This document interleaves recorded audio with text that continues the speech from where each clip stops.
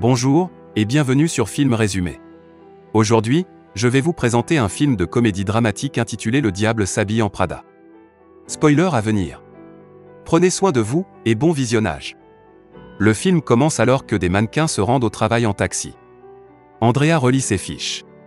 Elle enfile ses vieilles fringues et prend le métro jusqu'à l'immeuble d'Elias Clark. Elle y a rendez-vous pour un entretien d'embauche avec Emily Charlton, l'assistante de la rédactrice en chef du magazine Runway, Miranda Priestley. Elle doit l'aider à son poste. Andrea, elle, ne veut qu'écrire. La mode ne l'intéresse pas mais ce job pourra lui ouvrir les portes de magazines plus prestigieux. Elle arrive dans les bureaux et découvre une énergie folle. Miranda débarque, et tout le monde est hypocrite avec elle. On s'excuse même de croiser son chemin. Alors qu'Emily s'apprête à commencer l'entretien d'Andrea, Miranda décide de s'en charger elle-même. Elle fait remarquer à Andrea son mauvais style vestimentaire, mais finit par l'embaucher parce qu'elle promet de travailler dur. Bien que ses amis lui répètent que des millions de filles tueraient pour être à sa place, Andrea ne voit dans son nouveau job qu'un boulot utile à payer le loyer. Le lendemain, à 6 heures du matin, Émilie la réveille au téléphone pour l'envoyer récupérer des cafés pour sa patronne.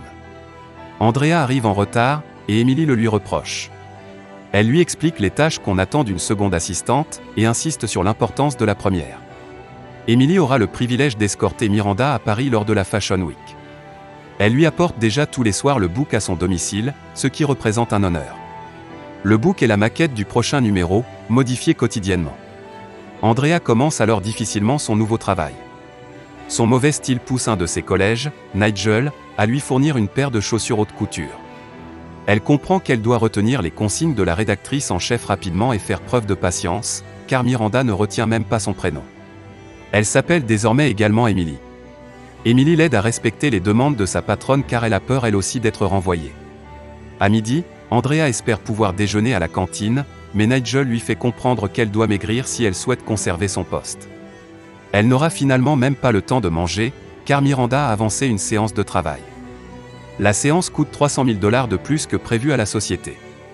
Dans une pièce remplie de portants, Miranda choisit absolument tout, bien qu'elle soit sensible aux objections de Nigel. Andrea s'amuse de constater à quel point l'une de ses collègues hésite devant deux ceintures qui sont quasiment identiques. Elle se fait reprendre par Miranda qui lui fait un cours sur l'industrie de la mode. De retour chez elle, vexée, Andrea raconte la scène à Nat, son petit ami.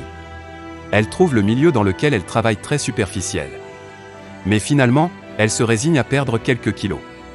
Jour après jour, Miranda la fait travailler et balance son sac et son manteau sur le bureau. Un vendredi soir, le père d'Andrea vient la voir. Mais Miranda la téléphone en plein dîner. Elle lui demande un billet d'avion de Miami pour assister au récital de ses filles le lendemain à New York. Mais un ouragan ravage en ce moment la Floride. En panique, Andrea oublie son père et cherche un vol, sans succès. Miranda rentre à New York trop tard et lui fait des remontrances. Elle pensait qu'Andrea était plus intelligente, plus performante que les gamines embauchées auparavant à son poste. Andrea court pleurer auprès de Nigel. Mais il lui reproche de pleurnicher au lieu de se dévouer à son travail et au magazine. Il lui recommande de se reprendre. Il passe dans une réserve de vêtements désignée par les plus grands couturiers de la planète et il la relouque complètement. Emily, qui critiquait son assistante, est choquée alors qu'elle voit Andrea revenir transformée. Dans la rue, Nat faillit même ne pas la reconnaître. À partir de ce jour, elle décide de s'habiller, se coiffer, se maquiller, et de se fondre dans le monde de la mode. Et Miranda approuve son changement. Elle interrompt sa soirée entre amis pour l'envoyer chez James Holt y récupérer des croquis. Andrea y rencontre Christian Thompson, un grand journaliste. Elle lui dit qu'elle écrit et il lui demande alors de lui envoyer certains de ses articles pour les lire. Le lendemain se tient la présentation de la collection James Holt en avant-première, dans les locaux de Runway. Andrea se montre si efficace que Miranda l'appelle par son prénom et la charge du bouc à la place d'Emily. Et après le travail, la jeune femme l'amène chez Miranda. Elle arrive à l'appartement mais ne voit pas où déposer le bouc. Les filles de Miranda lui tendent un piège et l'emmènent tout droit vers leur mère, et Andrea la voit se disputer avec son mari, ce qui met Miranda très en colère. Le lendemain, Miranda est toujours fâchée. Elle réclame à Andrea le prochain Harry Potter, alors qu'il n'a jamais encore été publié. Elle lui fait comprendre également qu'il est inutile de revenir au bureau si elle ne se le procure pas. Andrea parcourt toute la ville pour y arriver. Elle appelle Christian à l'aide, et téléphone à Nat pour lui dire que c'est la fin de sa carrière. Mais Christian l'a recontacté, il trouvait le livre. Andrea est soulagée. Elle rapporte un exemplaire à Miranda et fournit un à chacune de ses filles. Elle s'empresse, le soir venu, de faire leur devoir. Nat se met en colère en l'observant.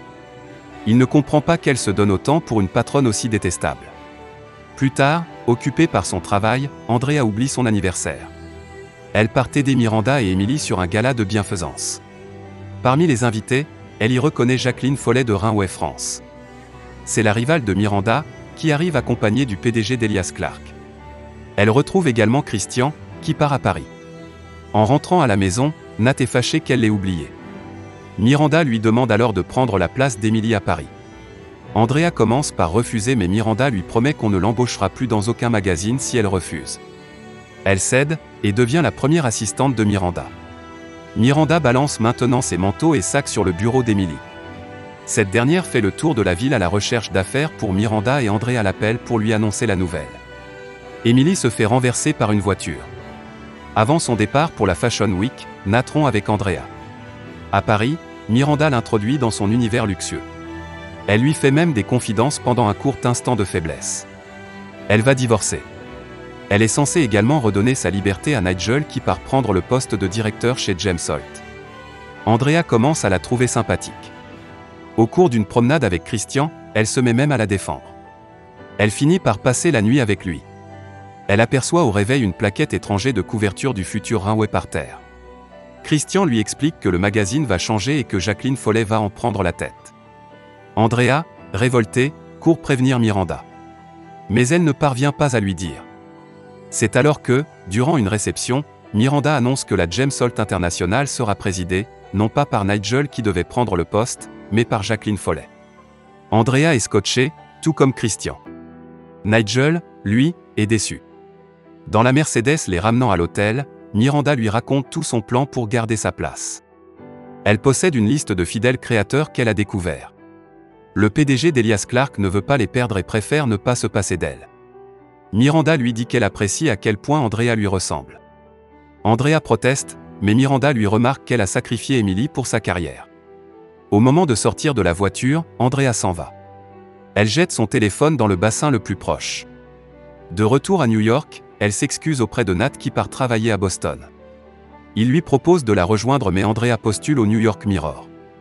Sa candidature est soutenue par Miranda. Andrea appelle Emily pour lui offrir ses vêtements de Paris. Le film se termine alors qu'on voit Andrea passer près de Runway et apercevoir Miranda. Assurez-vous de vous abonner pour pouvoir regarder plus de résumés de films comme celui-ci. Merci d'avoir regardé.